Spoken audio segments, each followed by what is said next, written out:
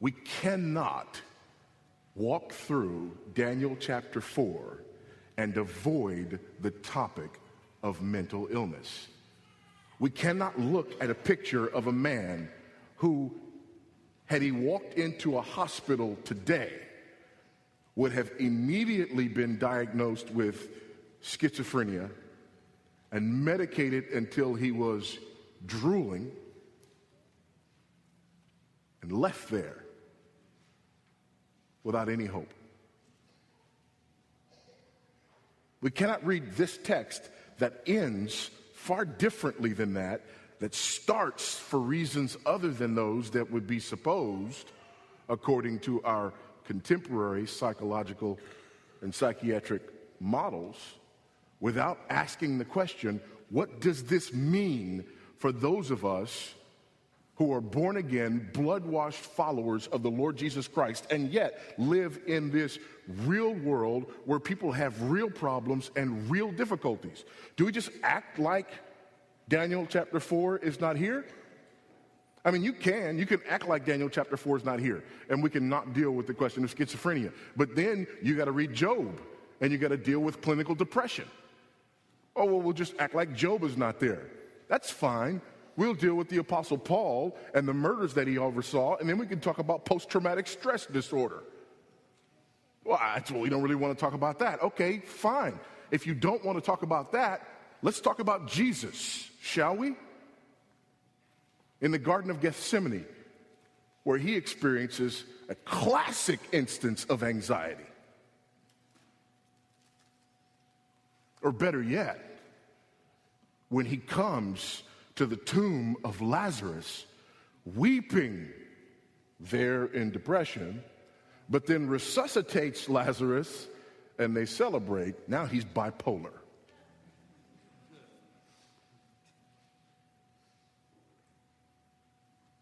Let's not even talk about the Psalms, where you find every manner of what we would define as mental illness expressed by the psalmist himself. So, even if you want to avoid the subject here in Daniel chapter 4, which you absolutely, positively cannot and must not, you have to face it somewhere. And you have to ask the question what are we as Christians supposed to do? We've got a couple of possibilities. Possibility number one is we can simply say that that is not a place where we belong. We don't understand it, but there are other professionals who do. So let's just leave it alone. Well, that's an untenable position because it's right here in the Bible. So we can't leave it alone. Well, what's our other option? Well, the other option, there'd be a ditch on the other side of the road where it, we acted like we understood things completely just because of what we have here in the text as it relates to what's going on in people's minds. Bible's not designed as a mental health textbook, so to speak. So what do we do? Well, we take this little excursus and we talk about the main issues involved here. Let me tell you what I'm not here to do this morning. I am not here to give you an exhaustive understanding of the way the Bible deals with the issue of mental illness. I am not here to give you an exhausting understanding of psychology and psychiatry. That's not my goal here. My goal here, however, is to give you a basic lay of the land so that we can at least talk about this in a way that honors our Lord Jesus Christ, recognizes what it means to be born again, to be saved, and it recognizes what it means to be a bipartite human being, having physical and spiritual abiding simultaneously together. Now, let me just say, full disclosure, it's a blessing at a church this size. I was able this week to pick up the phone and have conversations with one, a family practice specialist, two, a psychiatrist, and three, an emergency room physician, all of whom are members right here in this church. Imagine that. And so I did that. Why? Because this is not my area of expertise. And yet, because this text is in the Bible, and because I shepherd real people with real problems, it is incumbent upon me to know something about this. It is not an option for a pastor to see no evil, hear no evil, speak no evil when it comes to this issue of mental illness. That is not allowed. That is dereliction of duty.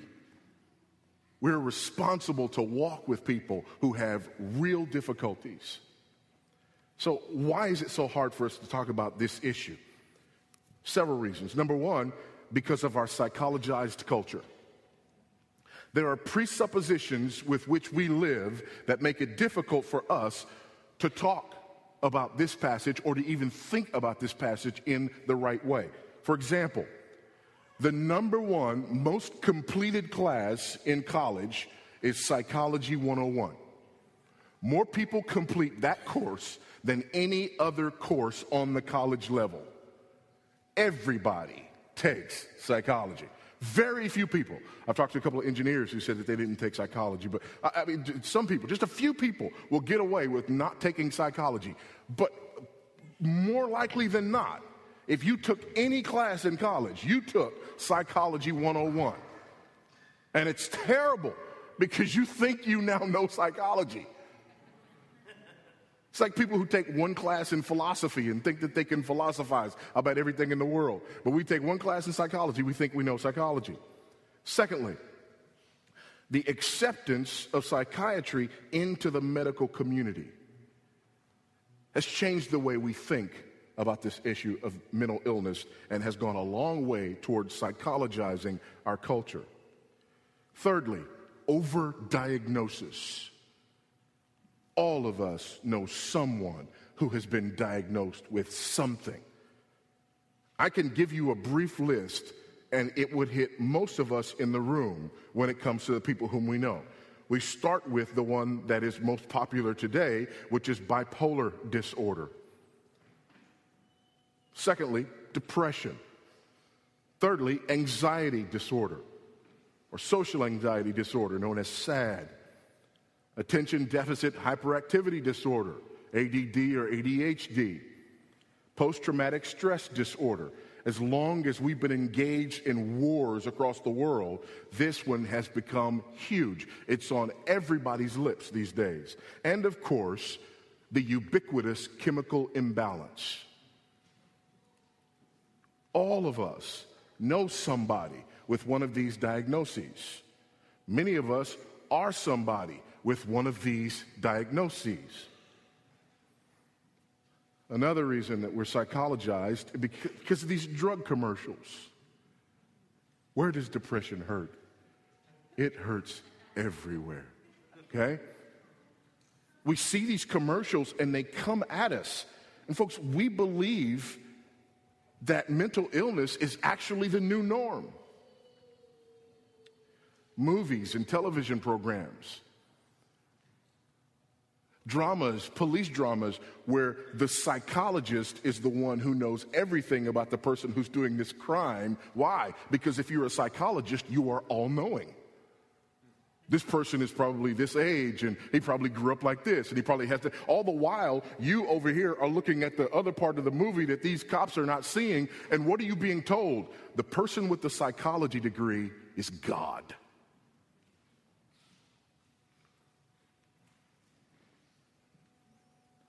And destigmatization. Far from there being a stigma anymore with mental illness, and I'm not saying that it's good or bad or whatever for stigma, but there was stigma attached to mental illness. Now we're proud of our mental illnesses. We wear them like a badge. We won't tell people our phone number, but we'll tell them our diagnosis. We are living in a psychologized culture. Not only that, but there has been a marginalization of the church in this regard. How so? The overwhelming majority of pastors who have any theological training have basically been given this kind of training when it comes to mental illness and mental disorders. If somebody has a small problem, you can help them. If they have a big problem, call a professional. Because God cannot handle mental illness. Pastors are taught that. Christians are taught that. And we believe that with every fiber of our being. And so we will run to a mental health professional, go get treatment, go get put on psychotropic drugs, and not even consult our pastor. Why? None of his business, not his area. We're going to talk about how dangerous that mentality is. Then, of course, there's the history of psychology itself. We could spend a lot of time talking about this journey, but let me just give you a picture because I want you to understand something. We believe that psychology and psychiatry are sciences like chemistry or physics. We believe if somebody says you have a chemical disorder or a chemical imbalance, that actually what has happened is they've given you a test and they have tested the level of chemicals in your body. And because of that scientific test, they now know that you're outside of range. We think about it, we think it's sort of like blood pressure. Your systolic ought to be between here and here. Your diastolic you know, ought to be between here and here. And we, we can test you with a machine. You're not between here and here. Therefore, you have high blood pressure or you have a low blood pressure. We think about the term chemical imbalance in that exact same way because we assume that these people are doing science. And most Christians don't know that there is no such thing as chemical imbalance. There's no test for it. There never has been a test for it. Here's the other thing everybody's chemistry is different. It's not like blood pressure, blood pressure, where you can go, here's where these chemicals are supposed to be in your brain, and here's where they are. In, no, not like that. Had a dear friend of mine over my house. We were having a discussion about this. Almost lost a friendship over this because somehow this issue came up this whole chemical imbalance, bipolar, whatever. And I just sort of alluded to the fact that there was no test for it and that it is not a scientific diagnosis. It's not a medical diagnosis. He said, No, no, it is because I got a family member who has this and they're treated for this and their doctor tested them for this. And I said, No, actually, they didn't. They had a conversation about how they feel and how they function, and then they were drugged. No. Picks up the phone in the midst of the discussion, calls his friend, who's also his family physician, and says, Listen, I got, you know, this is my buddy, he's my real buddy, but I think he's out to lunch because he's trying to tell me that there's this chemical imbalance thing, that there's no test for it, that it's not scientific, that you guys, you know, that you're treating my family member and that you haven't actually done any real medicine in order to determine that this. And you can just see him on the phone, his whole countenance changed. What? What do you mean there's no way you can test for that? What, what do you mean there's no way that you can know for so, what are you what are you telling me? But it's a fact, folks. That's why we use the term syndrome or disorder. There is no test for it. And if you look at the history of psychology, what you see is a movement historically from one worldview to the next, to the next, to the next, to the next. And we believe a certain school of psychology. We start with structuralism and Wilhelm Wundt.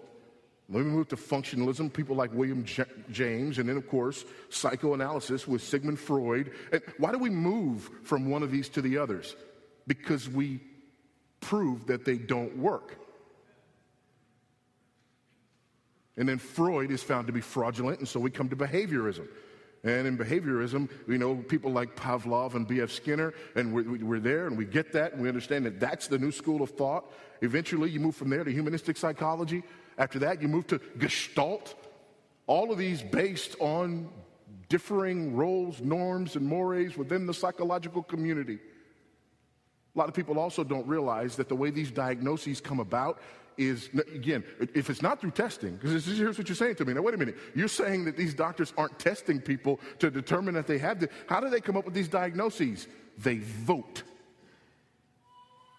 The psychological community gets together, they talk about groups of symptoms that they see, they give it a name. And if enough people in the room raise their hand, it gets into the diagnostic and statistical manual and it becomes an official diagnosis. Why is that important? Because that's the only way that you can get insurance companies to pay for it.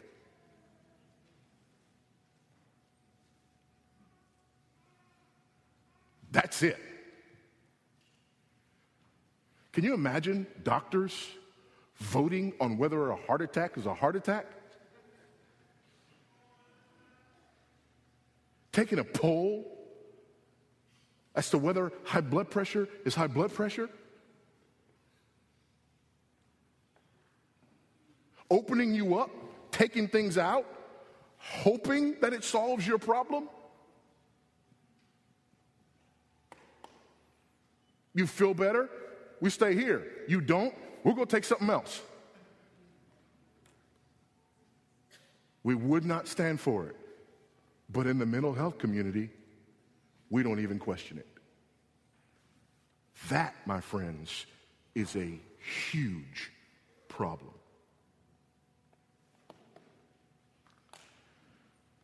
Well, what's the main problem with psychology, psychiatry? I don't argue that they are of absolutely no value, but there are problems. Let me give them to you. And then we'll look at Nebuchadnezzar and talk about some of the implications of these things. Number one, it's quasi scientific at best. It's quasi scientific at best. That's a problem. And it's really a problem because of the second problem, which is a lack of accountability. You see, if a physician, uh, uh, uh an MD, a, a, a heart specialist, or whatever, if they go in and they take out the wrong thing, you sue them for malpractice because they were supposed to test you, they were supposed to take images, they were supposed to know what they were doing. If they go in there and do the wrong thing, you're in trouble.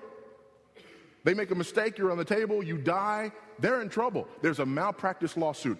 If a psychiatrist, based on a syndrome that was voted upon by another group of psychiatrists, gives you a diagnosis and then gives you a drug, and then as a side effect of that drug, you go and commit suicide, you cannot sue them. Why? Because it wasn't a scientific diagnosis in the first place. Therefore, they cannot be held specifically accountable when there's no specific thing that they're dealing with. And they hide behind this thing called standards of practice.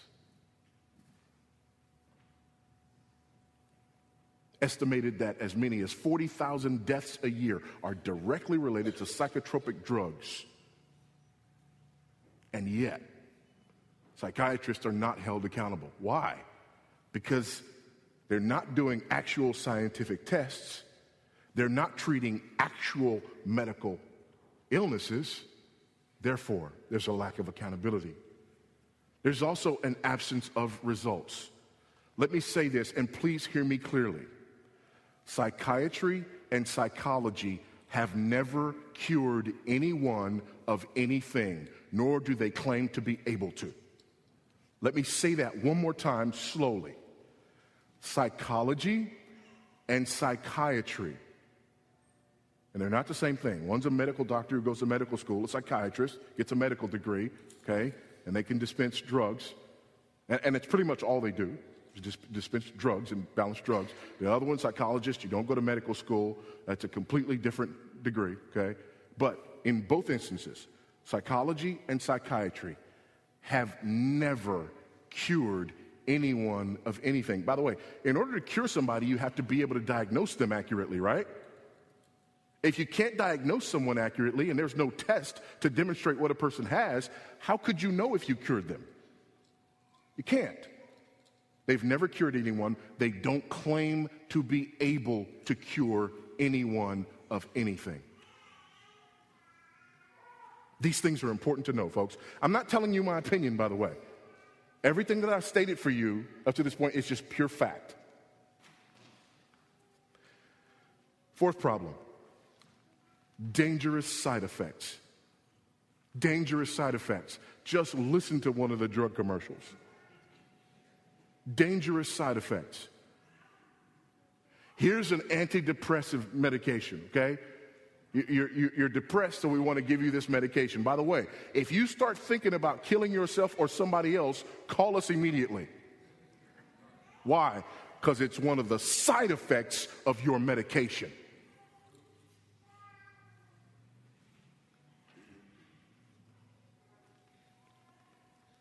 Wrong worldview. This is a problem with psychology and psychiatry. Wrong worldview. It's based on a materialistic worldview that sees nature as a closed system and man basically as a machine. It does not account for the bipartite nature of the human being, that there is a physical side of him and that there is a spiritual side of him. They only treat the physical side, are not equipped to deal with the spiritual side. Don't acknowledge it. Don't account for it. It can't. And then there are the theological inconsistencies. Listen to this. Thomas Szasz, by the way, is a psychiatrist who is sort of at variance with his profession. Because some of you right now are a little uncomfortable with some of the things that I'm saying, because we don't talk like this about psychology and psychiatry. They get a free pass they're not questioned. Somebody says you're bipolar, you're bipolar. Somebody says you have clinical depression, you have clinical depression. Somebody says you got a chemical imbalance, you got a chemical imbalance. No questions asked. Take this pill. Yes, sir. So we're not used to talking like this. So again, and who am I, right? I'm just a pastor, just a Bible teacher guy. Okay, Thomas Szasz, he's not a pastor. He's not a Bible teacher guy. He's a psychiatrist. In 1961, he penned the classic, The Myth of Mental Illness where he refuted the idea that mental disorders were on par with physical illness and could therefore be treated with medication. In his view, mental illness does not constitute actual disease, but rather problems in living. I didn't say that.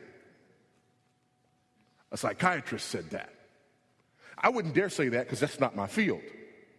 I don't have the authority to say that. He sort of does. And that's what he says about his field.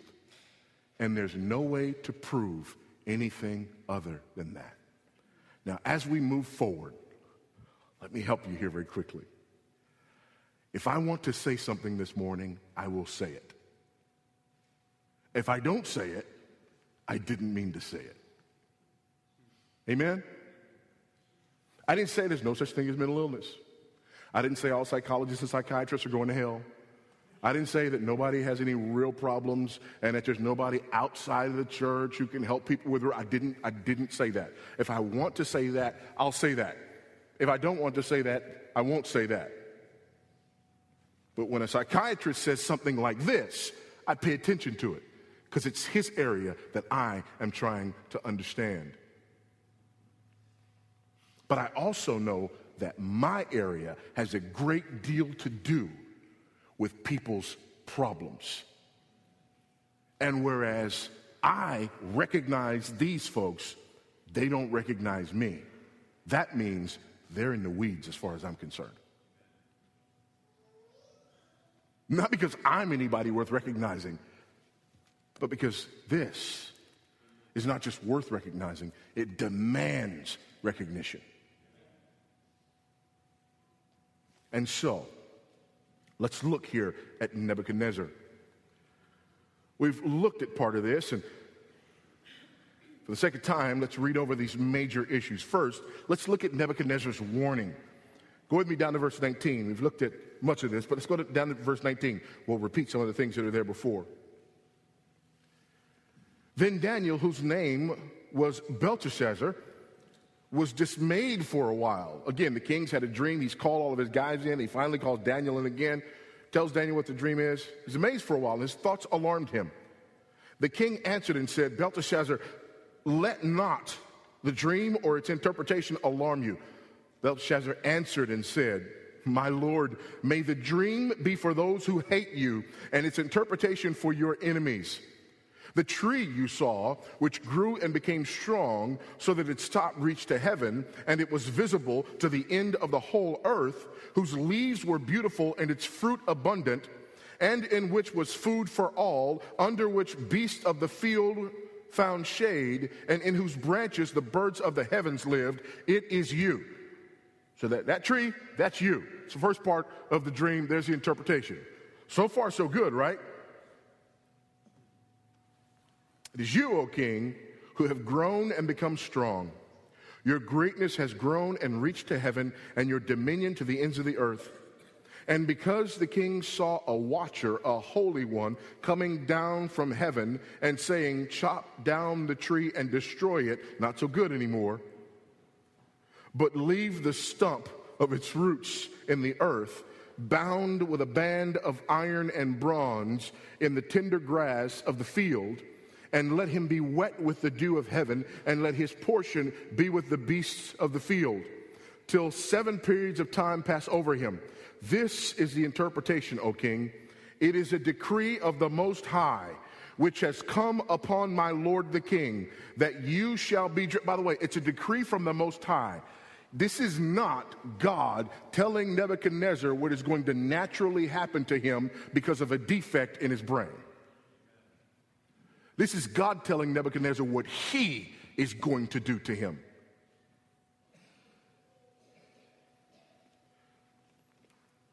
That you shall be driven from among men. Your dwelling shall be with the beasts of the field. You shall be made to eat grass like an ox, and you shall be wet with the dew of heaven. Seven periods of time shall pass over you, seven years, till you know that the Most High rules the kingdom of men and gives it to whom he will and as it was commanded to leave the stump of the roots of the tree, your kingdom shall be confirmed for you for the time that you know that heaven rules, or from the time that you know that heaven rules. Therefore, O king, let my counsel be acceptable to you. Break off your sins by practicing righteousness and your iniquities by showing mercy to the oppressed, that there may perhaps be a lengthening of your prosperity. The warning is due directly to Nebuchadnezzar's sin. Directly because of his sin. Period. End of discussion. This is what's going to happen to you because you have sinned against God. This is what lay ahead for you because you have sinned against God. And so here in Daniel, we see a direct link between sin and mental illness. And when I use the term mental illness, I'm using the term that we all understand. And you'll, you'll, you'll see why I, I make that clarification here shortly. A direct link between his sin and what, in an emergency room or in a primary care physician's office, would clearly be diagnosed as schizophrenia. A direct link to his sin. Does that mean that everyone who has this issue has a sin problem? Well, the answer to that, of course, is yes, because we've all got a sin problem. But does that mean that everyone is struggling with this as a directly result of their sin problem? I couldn't say that. I couldn't say that. But here's what you also can't say, and this is what psychology and psychiatry say people aren't struggling with this because of a sin problem. I would never say that everyone who has this, this, this, and this going on, it's directly related to a particular sin. I wouldn't be that arrogant. But psychology and psychiatry are arrogant enough to ignore the spiritual dimension of this altogether.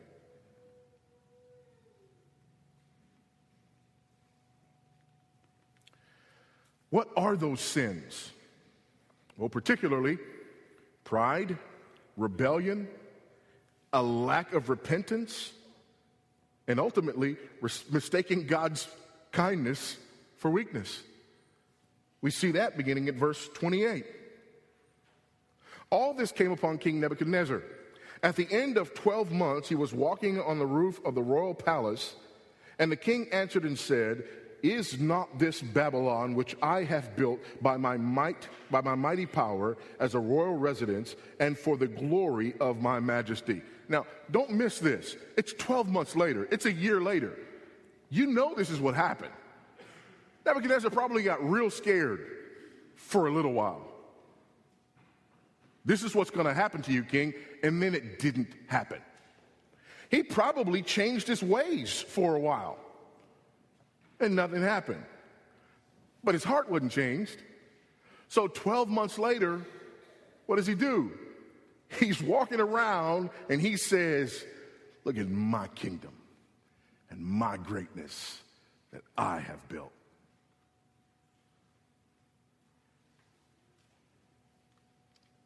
While the words were still in the king's mouth, there fell a voice from heaven O King Nebuchadnezzar, to you it is spoken. The kingdom has departed from you, and you shall be driven from among men, and your dwelling shall be with the beasts of the field. And you shall be made to eat grass like an ox, and seven periods of time shall pass over you until you know that the Most High rules the kingdom of man and gives it to whom he will. There is a direct correlation here, is it not? Nebuchadnezzar says, Look at what I have done. Look at what I have created. Look at how great I am. God says, I can make you eat grass, man.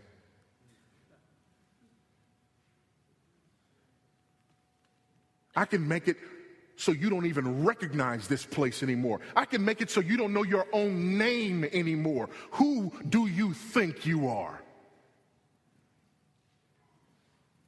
And that's precisely what he does. God humbles this proud man. And because his pride was inordinately large, his humiliation was inordinately significant.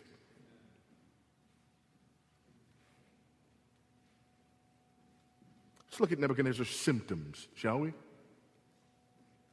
Verse 33 He was driven from among men and ate grass like an ox, and his body was wet with the dew of heaven, till his hair grew as long as eagle's feathers, and his nails were like bird's claws. He's gone. He's living out in the woods. That's the idea of him being driven among, from among men.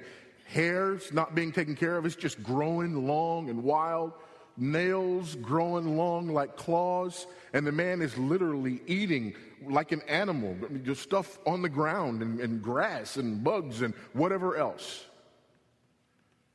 Now, I alluded to this earlier, but go with me in your mind's eye for a moment to today. When a man shows up in the emergency room or in his primary care physician's office, probably be the man and his wife, or maybe just the wife, because he's over in the woods somewhere. And she says, I was kind of wondering if somebody could come check on my husband.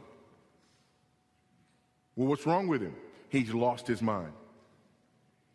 Okay, ma'am, that's kind of, you know, broad. Can you be more specific? Yes. He lives in the woods and he eats grass.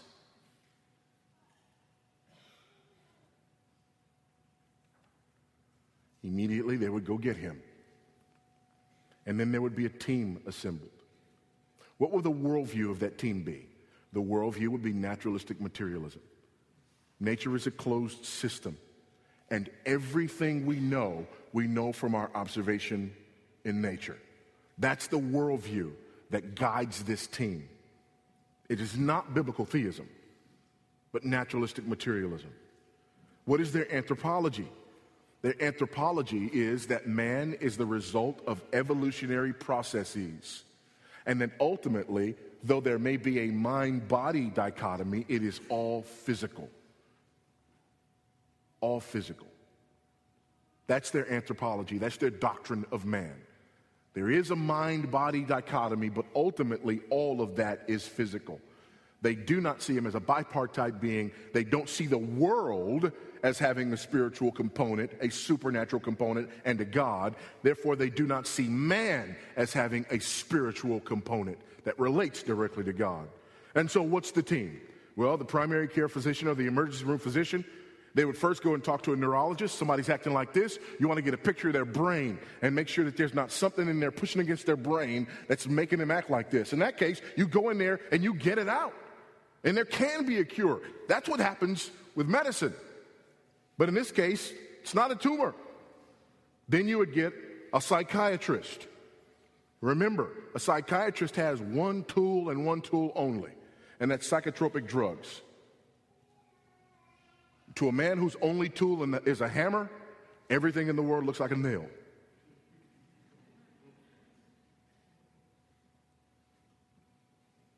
The psychiatrist has a single tool, and it's these powerful psychotropic drugs. A clinical psychologist and a social worker or caseworker. Why do you need a social worker or caseworker? Because you're going to have to house this man somewhere, and that individual is going to oversee that part of it, where this person goes, where they're housed while they're being treated. What about the treatment? Well, a, a psychotropic drug cocktail, not a single drug, but a fistful of drugs in order to control and maintain this man, to give him palliative care. In other words, to maintain him, to keep him from harming himself, and to give him some sort of reasonable expectation of a decent life. What about the outlook? Hear me when I say this. This team will have absolutely no hope of anything other than keeping this individual comfortable. They will not speak in terms of cure because they cannot speak in terms of cure. They cannot even speak in terms of accurately and scientifically diagnosing what this is. So, how on earth could they speak in terms of cure? Here's the question that we have to ask. Again, we understand and we believe in the sovereignty of God. Amen. Hallelujah. Praise the Lord. And that God brings this individual to his right mind. But can you imagine trying to get truth and the gospel through to an individual who is on a cocktail, a fistful of powerful psychotropic drugs? has a flat affect and stares off into the distance while you talk to him?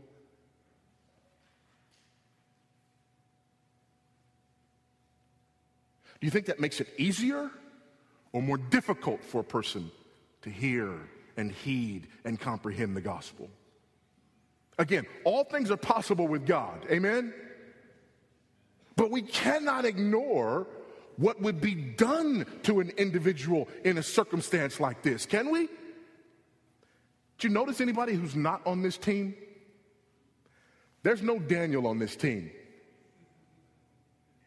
And Daniel's the only one who has an accurate diagnosis and any hope for this man to ever be cured. But he would not be allowed on this team. He would not be consulted by this team because his worldview doesn't fit into this worldview. Am I saying that there's no such thing as a doctor or a psychologist or a psychiatrist who has a right worldview? I told you I consulted three people who were members right here in this church. So, no, that's not what I'm saying.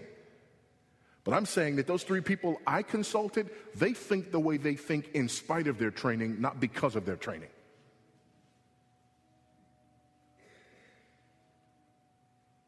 And all of them will tell you that they have been Christians practicing their craft longer than they have been Christians practicing their craft and applying a biblical worldview to it. Let me explain what I just said. All of these individuals who are wonderful, trained Christian physicians who would deal with a circumstance like this, all these individuals whom I consulted, Christians who think through this, who would think through this today biblically, every last one of them will tell you that for a large part of their professional career, they were Christian physician, psychologist, uh, psych- psychiatrist, or whatever, but they were not applying their biblical worldview to their work and their treatment of people like they are today.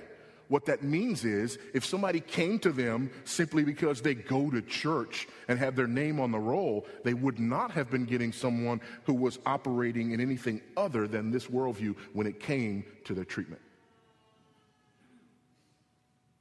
Please understand that. Just because somebody is a Christian who's a psychologist or a Christian who's a psychiatrist doesn't mean that they understand the significant worldview implications and how to apply those in the treatment of people with so called mental illness. So many Christians lose it at that point. Well, this person is a Christian and they told me to take this, therefore, they might not know anything about how you apply biblical theological reality to handling these particular issues. And all they've got is their training.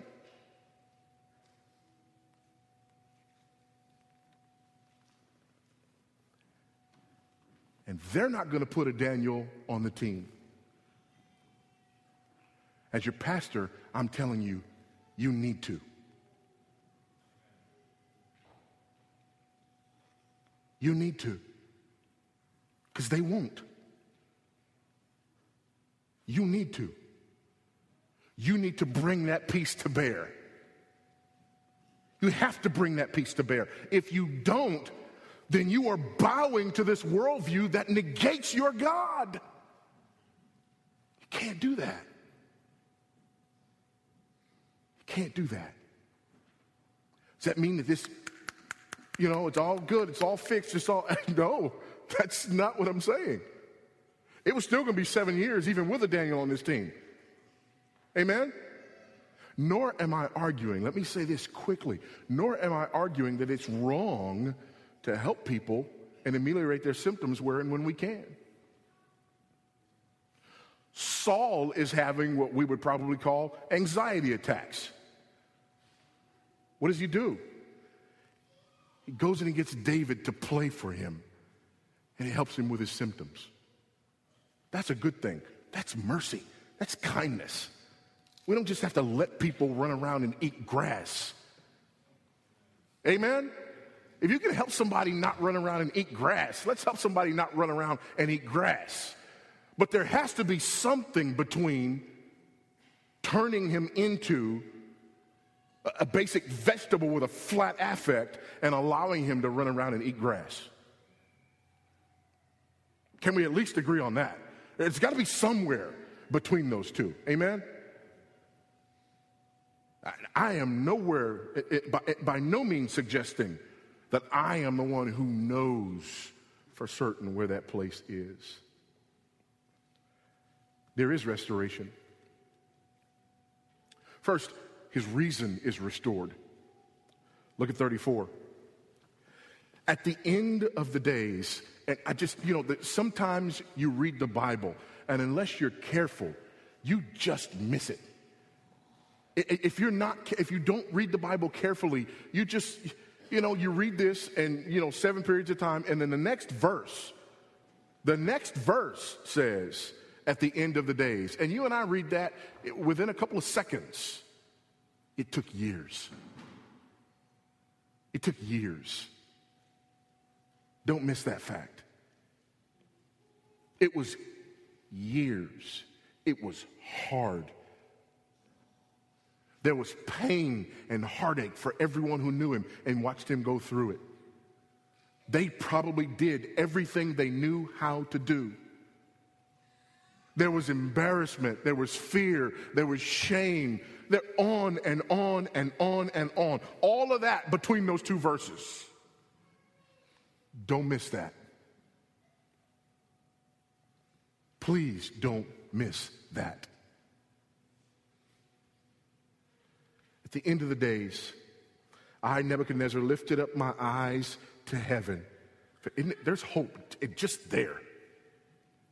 And my reason returned to me, and I blessed the Most High and praised and honored him who lives forever. For his dominion is an everlasting dominion, and his kingdom endures from generation to generation.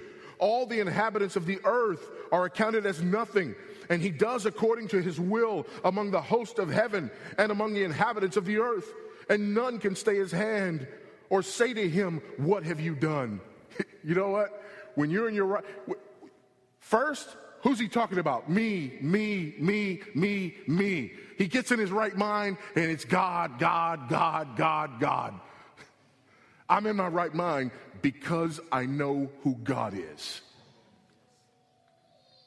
I know my reason has returned to me because I understand the nature of God, the person of God, the attributes of God. I get who God is. That's where you want to be, folks. But that's not even what we seek when it comes to these mental illnesses, so to speak. What do we seek? I just want to feel better. I don't feel good. And unfortunately, we're not talking to people who will take us by the hand and say, you know what, sweetheart, in light of the way you've been living, you shouldn't feel good. Turn to God. Because I can give you stuff to mask the way you feel, but it will not deal with the underlying problem. But we don't believe that we should ever not feel good.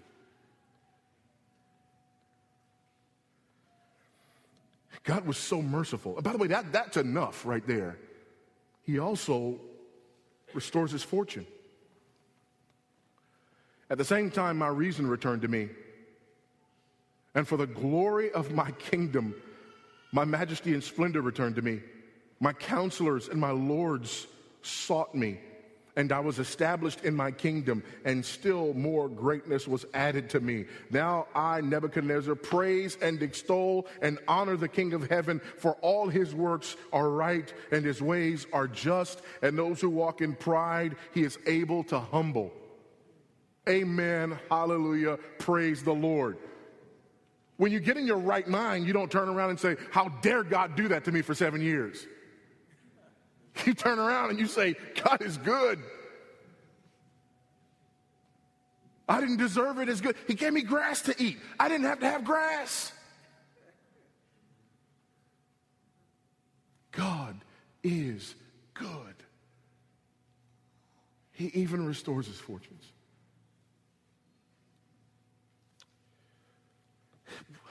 What do we take away from this? This, this is what's important. Please hear this carefully. Because again, I said to you, this is not about me giving you all the answers today. So, what do we take away from this? Number one, you are a bipartite being, you are physical and spiritual. Do not ever, ever, ever allow anyone to treat you like you're not. Not even your doctor. You are physical and you are spiritual. Don't forget that. Secondly, remember you live in a fallen world and you're going to have bad days. You're going to feel bad. Stuff's not going to work. Amen? As we get older, how, how, dare we think I'm going to get older and my muscles and my joints are not going to work like they used to, but my mind is not going to have any of the effects of the fall as I get older? help you if you believe that. That's a mental illness right there. Believing that your mind is not going to deteriorate in myriad ways as you get older. Believing that you're supposed to be happy all the time. That's a problem. That's not the real world. Things happen and we're supposed to feel bad about them. I mean, for example, you hear all this talk about post traumatic stress disorder with the guys coming back from Afghanistan and Iraq. Can I just sort of give you a little bit of perspective on that? Here's what we're saying. And unfortunately, we're not thinking this through. A guy goes to a place for a year or two years where it's kill or be killed every day. He takes countless human lives he sees his friends and comrades fall by his side. He sees more than one man who placed his life in his hands go home in a box. He has to kill people, sometimes very young people who are trying to kill him. He comes back, he has night sweats, he has nightmares, and he's jittery, and we say he has a disorder. No, I say the man who comes back and doesn't have that response is the one with a disorder. That man's human. We're not made to do that to other human beings or see it done to human beings in our presence. And when we respond like a human being should respond to seeing something like that, we say it's a disorder because we believe that human life is supposed to always be at peace. We have a problem. Death comes to your door. You're supposed to mourn. And we want to drug you so that you don't. Do you hear me? Teenagers are up one day in the stratosphere, down one, the next in the doldrums, as teenagers always have been, and we want to drug them. Boys are taken to a school where they are told, sit in that chair, be still, look at me, don't make noise, don't tap your foot, don't tap your pencil, don't hum, don't look out the window, don't daydream. And when they don't reach that, we drug them as children for years with a drug whose long term side effects we don't yet know. We have a problem, people.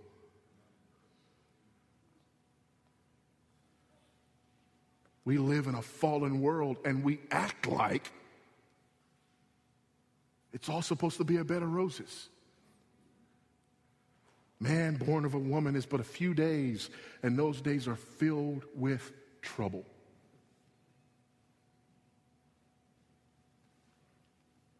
Thirdly, your sin has physical and emotional consequences.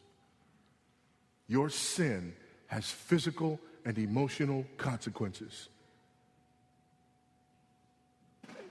I did not say everything that everyone ever deals with is always go back to a verse that they need to. That's not what I said. Hear what I'm saying. Your sin has real physical and emotional consequences. Proverbs 26 13. The sluggard, by the way, that's sin. The sluggard says, There is a lion in the road, there is a lion in the streets the sin of slothfulness contributing to anxiety. Must need a pill. No, it's a sin problem at the root of that. Proverbs 28 1 The wicked flee when no one pursues, but the righteous are as bold as lions. The wicked are fleeing when no one's pursuing. There's paranoia directly related to wickedness. Psalm 31:10. For my life is spent with sorrow, my years with sighing, my strength fails because of my iniquity, and my bones waste away. Physical consequences because of sin. James 5, beginning at verse 13. We talk about this every week. Is anyone among you suffering? Let him pray. Is anyone cheerful? Let him sing praise. Is anyone among you sick? Let him call for the elders of the church and let them pray over him, anointing him with oil in the name of the Lord. And the prayer of faith will save the one who is sick, and the Lord will, will raise him up. And if he has committed sins, he will be forgiven. Therefore, confess your sins to one another and pray for one another that you may be healed. and another one that we read every week. 1 Corinthians 11, beginning of verse 27. Whoever therefore eats the bread, it's talking about the Lord's Supper, whoever eats the bread and drinks the cup of the Lord in an unworthy manner will be guilty concerning the body and blood of the Lord. Let a person examine himself then, and so eat of the bread and drink of the cup. For anyone who eats and drinks without discerning the body eats and drinks judgment on himself. That is why many of you are weak and ill, and some have died.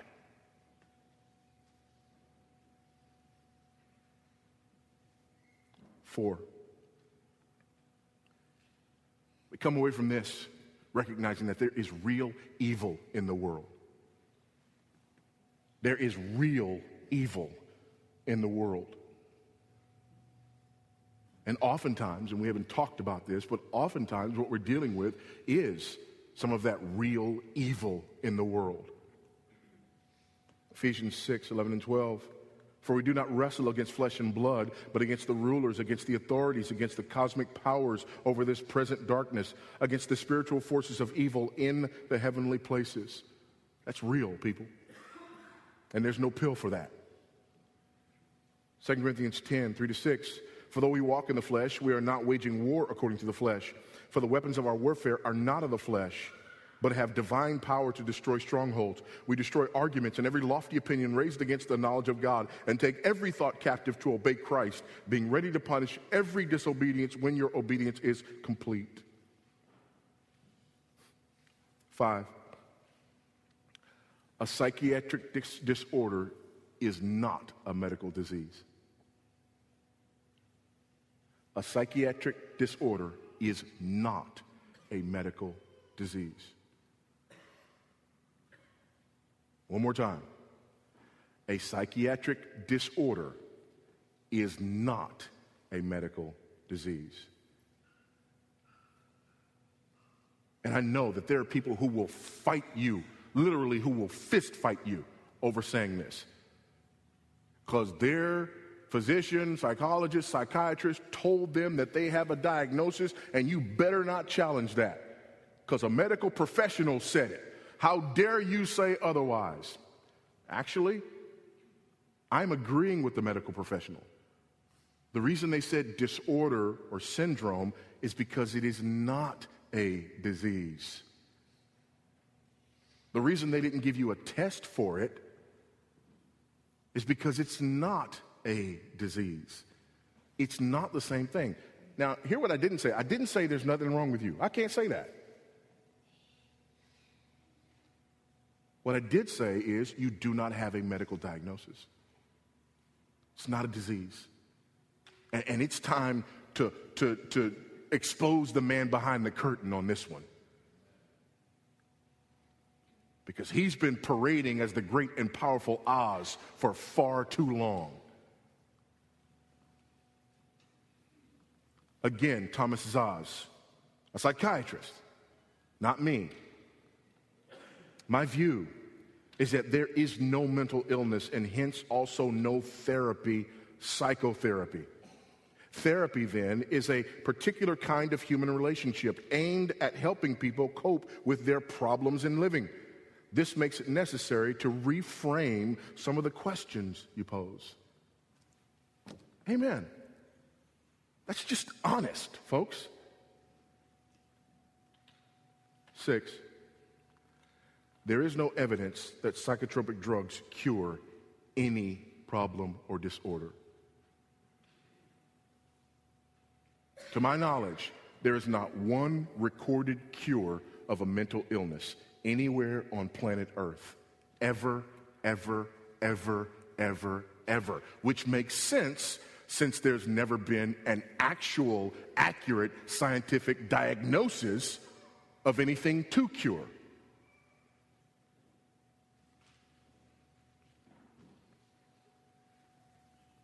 Seven.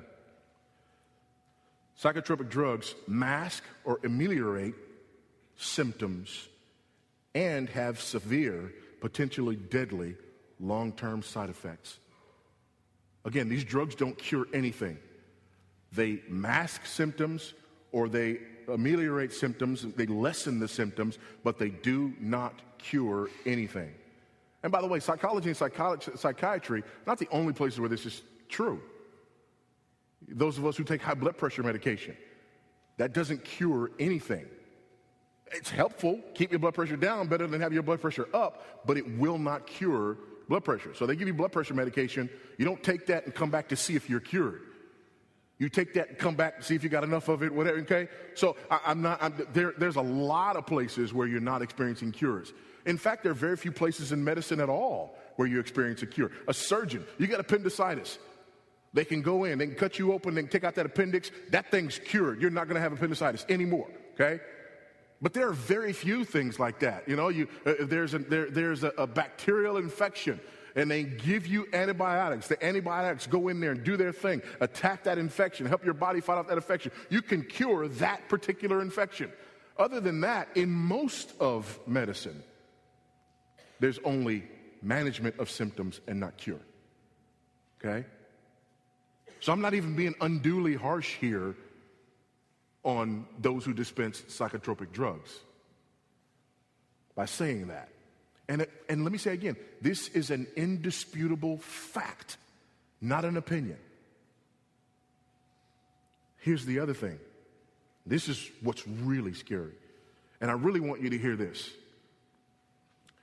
Psychotropic drugs are often highly addictive and difficult, even dangerous to quit. I'm not telling you today to go get off whatever somebody put you on. Amen, somebody. I'm not telling you that. I'm not telling you that. I can't tell you that. It can be dangerous for you to go off that stuff. And that's part of what's so horrible about this. Because you never just get just, it's like Lay's potato chips. You can't eat just one. They give you a drug, that drug has side effects, so they give you another drug to balance out those side effects. But of course, the drugs to balance out the side effects of the first drug has side effects, so they give you another drug to balance out the side effects of the drugs that they gave you to balance out the side effects of the first drug, and so on and so forth and so forth. And then all of a sudden, these drugs are no longer effective, so they have to go find other drugs that will go you see? You try to get off of something like that, your body will rebel and it might shut down.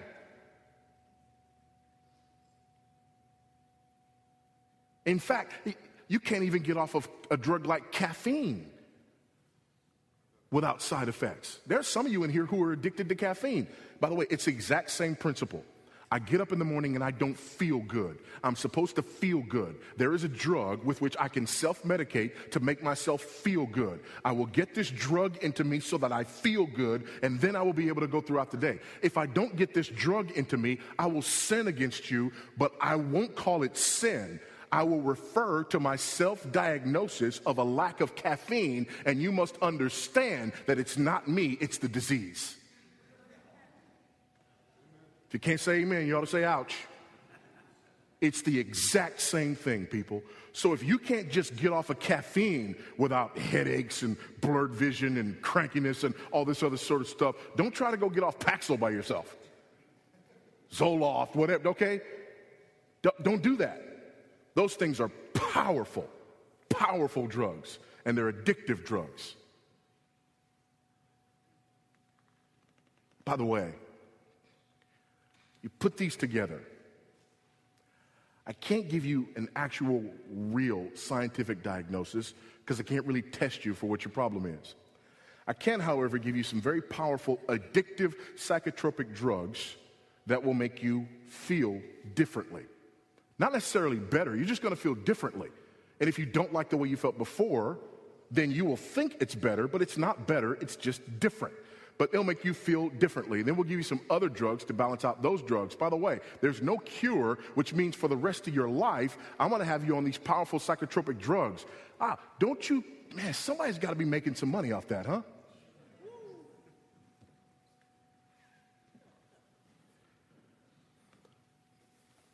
Most mental problems, know this, are caused by underlying spiritual or physical conditions.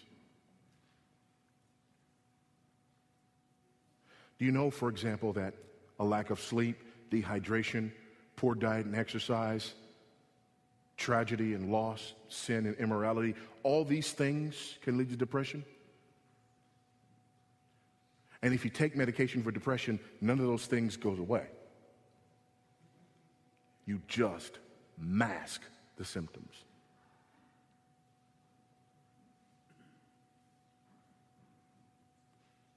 You go see a doctor and they don't ask you how much sleep you've gotten in the last seven hours or seven days, or you know, they don't ask you about how you're eating and how you're exercising and how you but they're gonna give you some psychotropic drugs, run.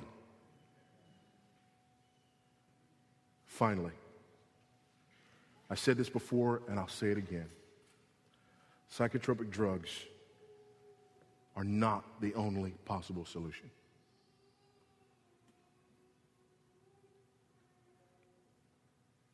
They're not the only possible solution. We see that here in Nebuchadnezzar's life. We see it also throughout the scriptures, do we not?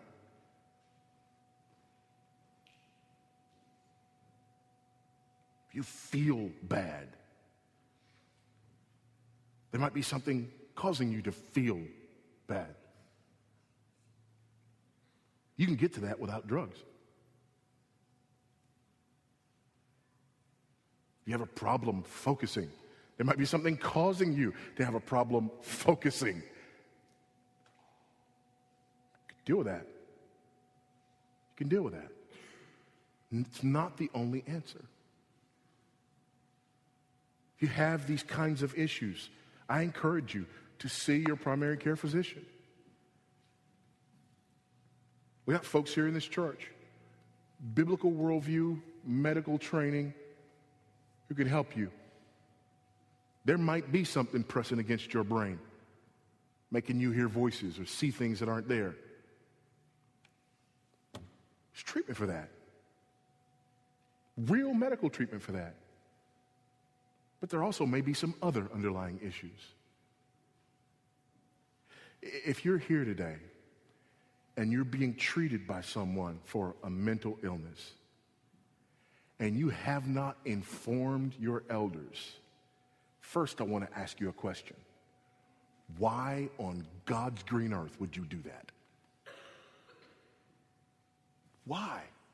By the way, I can tell you the answer because you've bought the lie. You've bought the lie that says there's that side of the world that deals with real problems, and there's this side of the world that gives you pep talks once a week and that this side of the world has nothing to offer for those real problems that there's no test for and no cure for on that other side of the world.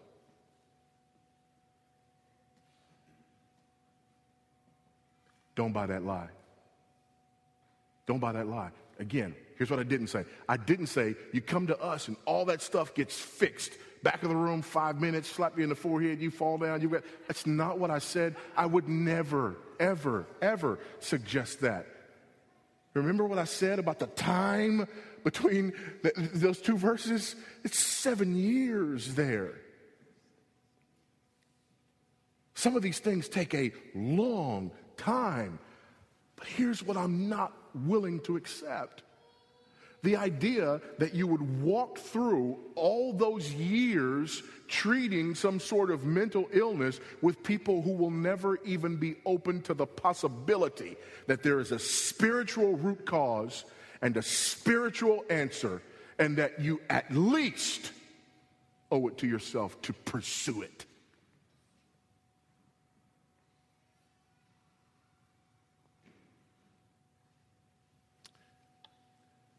Because here's what I know the God I serve gave his son to die for sin. And he didn't kind of die, he really died. Three days dead, resurrected on the third day, has ascended to and is seated on the right hand of the Father in glory. And as I've said before and will say again as long as I live, whatever you are facing is not bigger than a dead Jesus. And if the power that raised Christ from the dead is available to you, how dare you be hopeless? We can be a lot of things. Hopeless, not allowed. Not if we know Christ. But if you don't know Christ, here's what I want you to hear today. You have bad days. You have bad feelings. You have bad thoughts. You have physical manifestations because of the sin in your life. And your only hope is psychotropic drugs to treat a problem that cannot be accurately or scientifically diagnosed for the rest of your life. That's you apart from Christ. There is no hope there. None whatsoever. But here's what's worse. Even if you and I both spend the rest of our lives in despair, mine's going to end one day at the throne of grace where all will be made right. What are you looking forward to? Run to Christ. He is your only hope. There is hope in none other. Call on him while there is time. Cling to him with everything you have. Turn from your sin and turn to the only one who can redeem you, forgive you, heal you, and make you whole.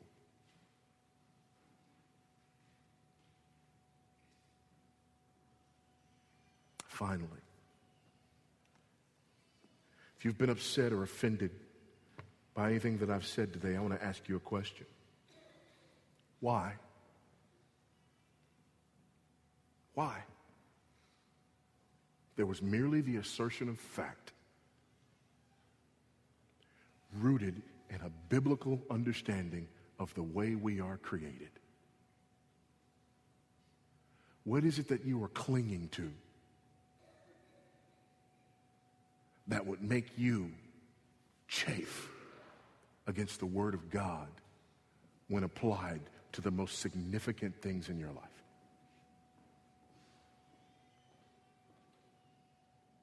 Be free. Be free.